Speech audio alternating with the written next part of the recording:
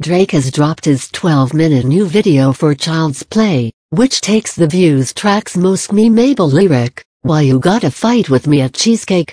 Slash you know I love to go there, and blows it up into an ordeal where the rapper and model Tyra Banks very publicly argue about Drake's promiscuity at a cheesecake factory. After using the restaurant's bathroom for the first minute of the video, Drake returns to his table and realizes he left his cell phone at the table with Banks. When he was away, the rapper received a text message from another woman calling him Aubrey. She didn't call you Drake, she called you Aubrey, Banks tells the rapper, her voice increasing in volume. So obviously there's something a little bit more intimate for her to call you Aubrey. I call you Aubrey. Your mom calls you Aubrey. These bitches call you fucking Drake.